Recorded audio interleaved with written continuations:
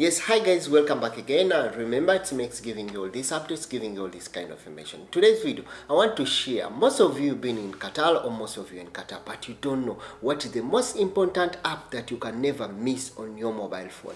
Yes, I want to let you know the most important app that definitely you can never miss on your mobile is what you call the Metro Yes, most of you, you have phones, you have delivery apps, you have shopping apps, but you don't even have a Metrash app on your mobile phone. Remember, what requires for you to have a Metrash? You definitely need what you call your QID and your mobile phone number that is linked to your QID. Then you get into the app, open up the app, then you can log in, register your details, and it will have your details. When you have the Metrash app, the advantages that definitely I need to share with you regarding to what you call the Metrash app. You'll access everything that definitely you need in the Metrash app, and you'll have you'll be able to see a copy of your CAS, uh, IQID you'll be able to see your exits you'll be able to check your exit uh, your if you need exit to go out of the country you should uh, you'll be able to check your address your national address you'll be able to see your visa you'll be able to see the status of your residence permit. So definitely what i need to share with you it's one app that definitely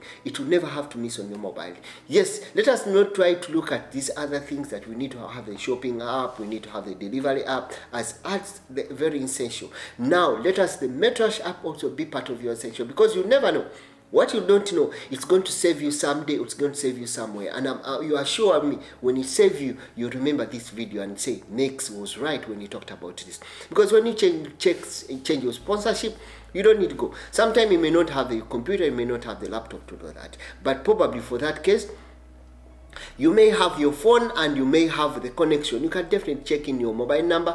You get your create your passport then you can check the status. You can check what is your id we have delivery of id your application of id renewal of aid expire of id uh, check uh, all these things are definitely accessing government services. Definitely on the tip of your fingerprints. One two three four five on the tip of your fingerprints using what you call connection your mobile phone and definitely you can be able to check and access most of these services using what we call the Metrash app so as we come into this country let us not so much focus on we having what we call the shopping apps the food apps. Yes I'm not I'm not refuting, I'm not telling people you should not have the food or shopping apps, you should not have those shopping apps or food delivery apps on your on your mobile. Yes, but think about this as an essential document, an essential app that definitely will cater a lot of things inside you, uh, will hold a lot of your information. Even if one day you are definitely maybe stuck up, you don't have a QID, you need to exit, your QID is lost.